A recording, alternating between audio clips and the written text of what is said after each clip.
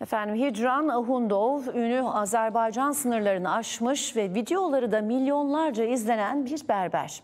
Hüneri ise tıraşla resmi birleştirmiş olması. Gelin şimdi saça resim çizen o berberi yakından tanıyalım. Kız seni alan yaşadı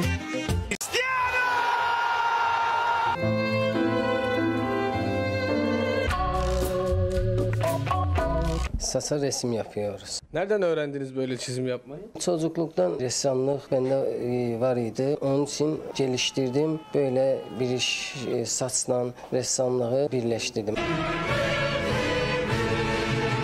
Türkiyədə çox istəyirlər. İstəyirəm ki, gəlim Türkiyədə də bu işi sürətli davam edim.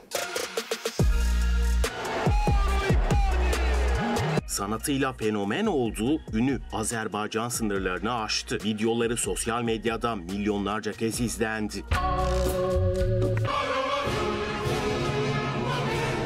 Ən çox da Türkiyədən izlənmə gəlir. Sağ olsun dəstək olurlar. Bildiğiniz tüm berberleri unutun çünkü Azerbaycan Bakü'deki bu berberde sadece saç kesilmiyor üstüne bir de sanat yapılıyor. İşte bu şekilde ressamlık ve berberlik birleştirildi. Ortaya böyle harika saçlar çıktı. Ən çox Atatürk'ün resmini bəyəniyorlar. Sonra da Icardi'nin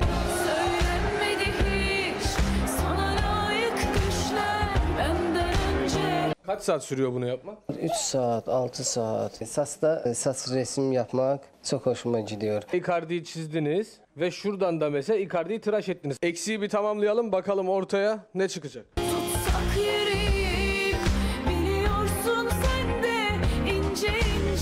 Atatürk'ü resmetmek nasıl bir duygu? Biz mi- bir millət, iki dövlətik. Biz qardaşıq. Atatürk'ü rəsm etmək gözəl bir duyğudur. Çocuqluq aşkımdır benim Atatürk sevdam. Ben Atatürk'ü çok seviyorum. Ben Atatürk'ün şəklini rəsm etdim.